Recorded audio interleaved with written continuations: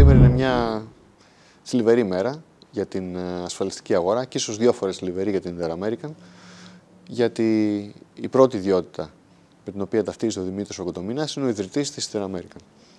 Πέρα από αυτό όμως, ο Δημήτρης Κοντομινάς ήταν μια πολύπλευρη προσωπικότητα με πολύ σημαντική προσφορά σε ολόκληρη την ασφαλιστική αγορά και όχι μόνο. Θα μπορούσα να πω ότι καθόρισε ένα είδος επιχειρηματικότητας βασισμένο στην καινοτομία, σε φρέσκες ιδέες και με πολύ πίστη στους ανθρώπους. Θα μπορούσαμε να μιλάμε πολύ ωραία για τον ε, Δημήτρη Κοντομινά. Εγώ θα ήθελα να επαναλάβω μία φράση που την, ε, την κρατάμε στο κόρη οφθαλμού ακόμα και σήμερα στην εταιρεία μας. Η The American είναι οι ανθρωποί της. Και ο Δημήτρης Κοντομινάς ήταν ο μεγαλύτερος ηγέτης της. Τώρα, υπάρχει κάτι το οποίο ε, πέρα από αυτό θα θυμάστε που σας βοηθάει στην καθημερινότητά σας και που έχετε διδαχτεί αν μπορούμε να πούμε από τον Δημήτρη Κοντομινά; Η πίστη στους ανθρώπους.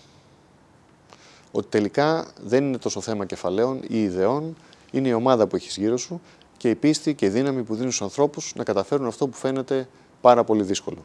Και στην επιχειρηματική πορεία του Δημήτρη Κοντομινά ε, υπάρχουν πάρα πολλά επιτεύγματα που σήμερα πραγματικά δεν μπορούμε να φανταστούμε και να καταλάβουμε πώς τα έφερε εις πέρας. Αυτό το έχουμε κρατήσει στην American και είναι η μεγαλύτερη παρακαταθήκη του Δημήτρη Κοντομινά για όλους εμάς που θέλουμε να συνεχίσουμε το δικό του όραμα.